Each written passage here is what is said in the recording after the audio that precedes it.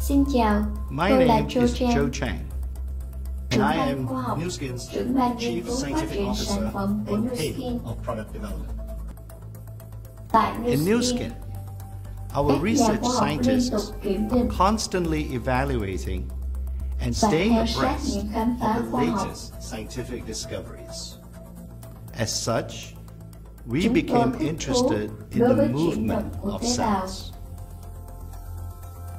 All living Tất things cả những sinh vật sống are in đều motion. đang chuyển động. Tế bào cũng cells vậy, và move các as thành phần well trong tế bào as cũng vậy. components of cells. Emergence of Trong cell nghiên cứu nổi research bật gần đây illustrates cho thấy that sức tension tăng và chuyển động and rất quan movement trọng are đối với sự in vận động tế cellular bào fitness, cũng như toàn cơ just like thể. the whole human body.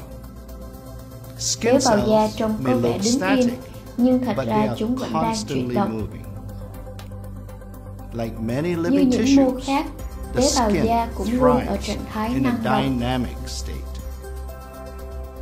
This Điều này khiến inspired chúng our tôi team nảy ra ý to định investigate tạo nên một the chuyển động nào đó potential để có benefits thể mang lại lợi ích dynamic cho làn da. movement on the skin. We Chúng tôi giả định về một that lực the tác động cơ application học trên of a nguyên bào sợi dynamic từ da mechanical loading trong điều regime kiện mô phỏng môi trường human collagen skin 3D analog phòng thí nghiệm consisting of human dermal fibroblasts grown và in xem xét khả năng sinh collagen lợi collagen của chúng dưới điều kiện của the hệ thống vivo mô phỏng. environment of skin. This Hệ thống loading thử nghiệm regime này còn có khả năng đo lường được khả năng sinh tổng hợp các phân tử có lợi liên quan đến sự khỏe mạnh của da cũng như sự suy giảm những yếu tố mà chúng tôi tin rằng có tác động tiêu cực đến da. believed to exhibit negative effects on skin. Chúng tôi đã tìm đến một trung tâm thử nghiệm đạt chuẩn thực nghiệm để kiểm chứng những giả thuyết của mình.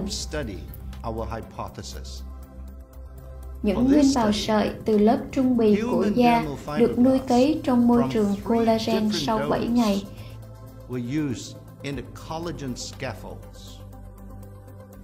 After seven days in culture, the fibroblast seeded collagen scaffolds were evaluated and found to be viable. Được đánh giá là đã sẵn sàng để thực hiện thử nghiệm với hệ thống mô phỏng.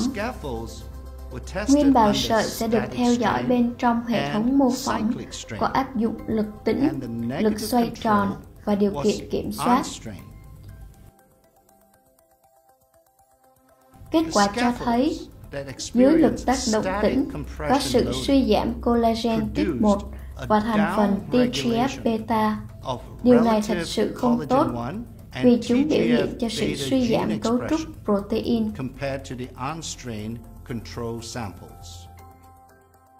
Of course, this is not really a good change we would want for these genes because this would be indicative of a reduction of structural proteins. By contrast, Ngược lại, those lực tác động xoay tròn that mang đến những kết quả khác hẳn. yielded different results. The Sự biểu expression hiện của of decorin, decrin, B-lichen, glycan, collagen type collagen 1 1, và TGF-beta đều có xu hướng gia tăng. Đây là những sự thay đổi mang tính tích cực cho làn da.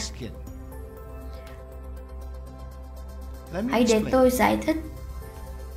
Chu trình TGF-beta là bước đầu tiên trong việc sinh tổng hợp mạng lưới ngoại bào,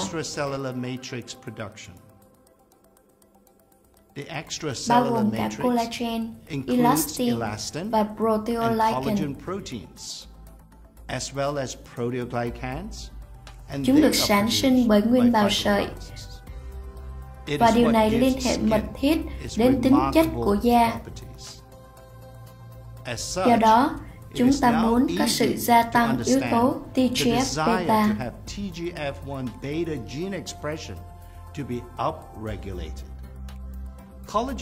Tiếp theo, collagen type 1 produces kết hợp với những loại collagen 1 khác hình thành nên procollagen. collagen Collagen là thành phần chính được tìm 1 thấy trong mạng lưới ngoại bào của da. Độ ẩm là yếu tố sống còn của cấu trúc da.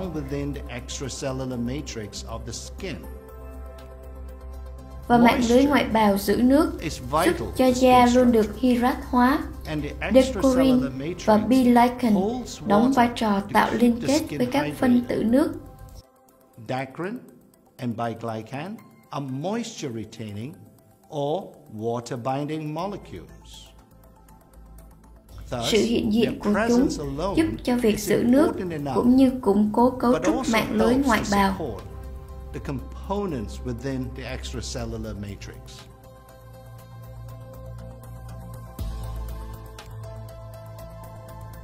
We are very excited about these results and we'll have an opportunity to share them with the scientific community throughout 2017.